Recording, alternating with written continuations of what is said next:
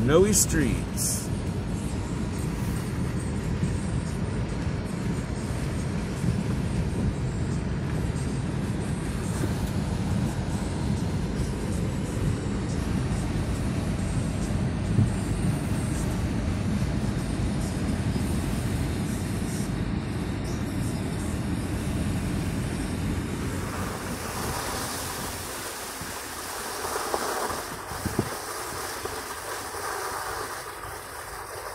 I figured we had about four inches when I shoveled last night. Got a little melt going on, so it's not as thick anymore, but it's definitely going to be dense, and it's definitely dense and hard to move already.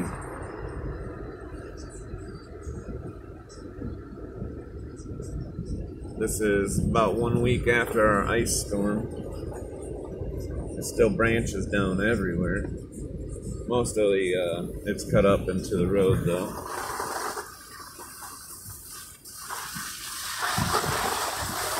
Slush everywhere.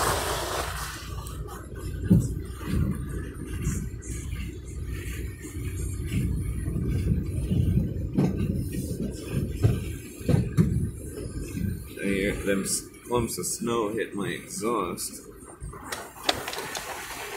Ice and snow falling from the tree. Yep, lots of snow.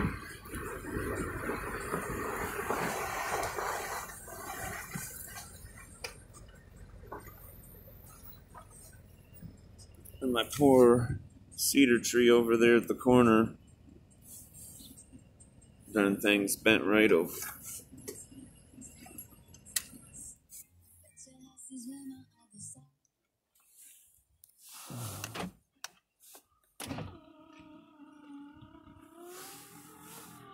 Yep, people out shoveling everywhere.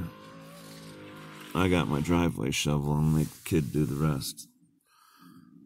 It's snow covered garden.